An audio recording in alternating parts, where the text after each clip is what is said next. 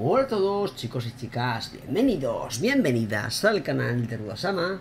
Y bueno, vamos aquí hoy con otro Medabot de la colaboración de Gridman Universe Pues una serie que recuerdo, no sé exactamente de qué va Si queréis decirlo en los comentarios, me parece perfecto Y además ayudáis a la gente del canal y a mí a entender un poquito más de esto y bueno, vamos a hablar de este robot, de sus características, de su diseño, de cómo puede funcionar en combate. En este caso le trata del nombre de modelo GDM03, conocido como Grid Universe, Universo del Caos, una cosa un poquito rara. Pero bueno, básicamente pues eh, tenemos un Medabot que parece un guerrero. La verdad es que a nivel de forma y físico me gusta. Eh, aquí han sabido, pues bueno, estilizar un poquito el modelo para que parezca más un Medabot que en otro tipo de robot por las partes que han hecho dobles y cosas así, o sea, las partes que se doblan, etcétera. Pero bueno, aún así que sí que es verdad que destaca un poco en el juego, ya que pues no parece exactamente que sea el mismo mundillo. Obviamente no lo es, pero me refiero a la, bueno, a la colaboración que han hecho y cómo han intentado juntar. Por otra parte, pues bueno, en general se nota que el mes está bastante currado para que no se atraviese la malla, aunque la parte de atrás de las piernas pues no ha podido evitar que se cruce un poquito, aunque bueno, lo han intentado pues dejar el máximo detalle posible, ¿no? Pues eso se agradece. Y bueno, pues se viene, se viene viendo mucho en las colaboraciones que intentan hacer esto, pero bueno, estaría bien que lo en todos los bots. Y bueno, más a nivel de diseño están las técnicas, etcétera. Tenemos a nivel de todo el cuerpo eh, daño de disparo, por lo tanto, pues bueno, va a tener una mejora con medallas que sea, prefieran disparo que otra cosa, no hay que preocuparse por ese segundo eh, digamos, mejora de la medalla o la, o la, segunda y la tercera, por lo tanto eh, vamos a poder sacarle más potencial. En este caso la única parte pesada es la cabeza, las piernas pueden llevar la parte pesada sin problemas, aunque solo son para una parte pesada, cosa que me da un poco de pena porque podrían haber sido un poquito mejores llevando dos partes pesadas, en este caso no ha sido así. Y bueno, hablando individualmente de las piezas, en la cabeza pues tenemos un nivel de armadura bastante bueno para un Medabot que en base a este tipo bípode, por lo tanto tiene una armadura bastante decente. Tenemos una precisión muy decente, bien, o sea, prácticamente pues lo, lo, mínimo no lo va a fallar. La potencia sí que es casi un poquito, tenemos una potencia, una potencia bastante justita. Y tenemos un llenado de enfriamiento, pues que en el caso del llenado está muy bien, es un ataque bastante rápido, el enfriamiento un poquito más bajo y número de, usos de 3. En este caso tenemos una habilidad nueva que no habíamos visto antes, conocida como Big Bang, la verdad es que es bastante curioso. Y vamos a ver un poquito de qué se trata. Bueno, básicamente lo que nos está diciendo es que es un disparo que destruye una parte de armadura máxima independientemente del valor de armadura de la parte golpeada con una probabilidad de acuerdo con el rango. Básicamente lo que dice es que va a pegar un golpe que va a destruir la pieza a la que, a la que le dé independientemente de la armadura que tenga y esta probabilidad va a depender del rango de tu medabot. Si esta pieza no se destruye, el ataque va a ser de un, valor normal, es decir, será un ataque considerado como normal, sin ninguna excepcionalidad.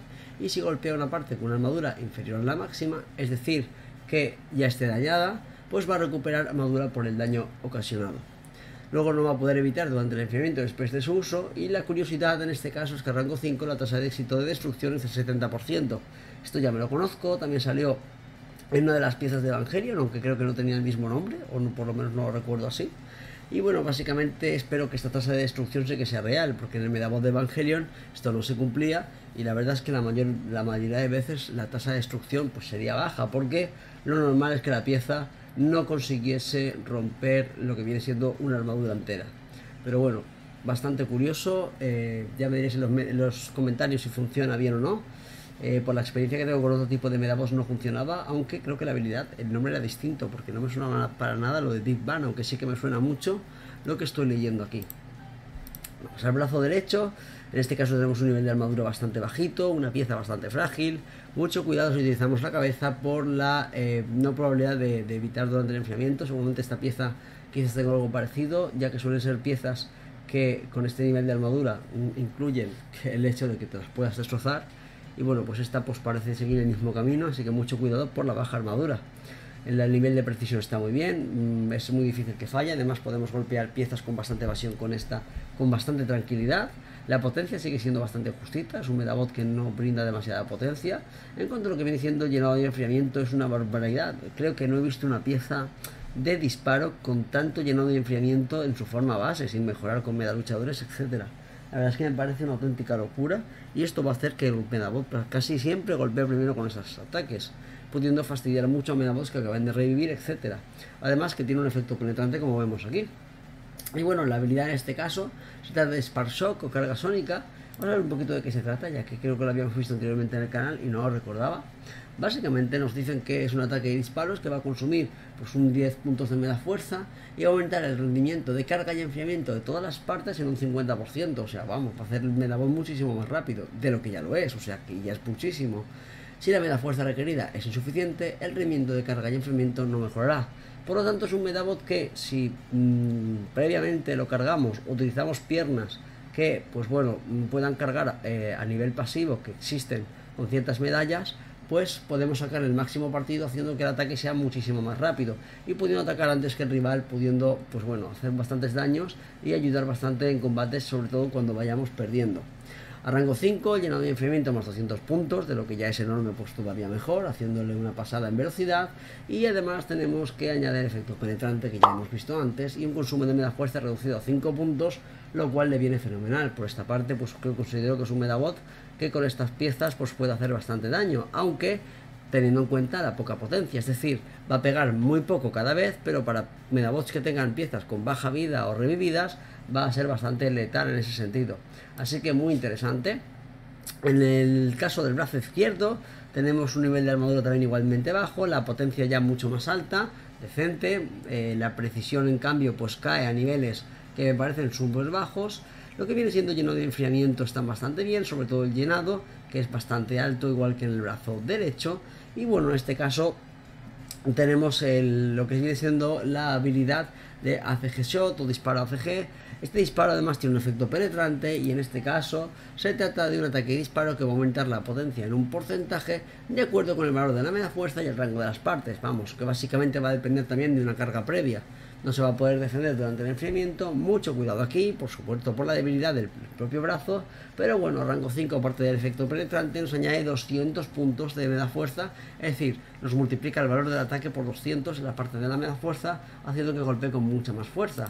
Por lo tanto, pues bueno, puede ser bastante interesante, sobre todo sumando la potencia base del ataque y haciendo que sea un ataque con bastante potencia. Si previamente hemos utilizado el brazo derecho con una carga de media fuerza, vamos a hacer que golpeemos con muchísima más velocidad, siendo un golpe extremadamente rápido y muy potente. Por lo tanto, pues va a ir genial.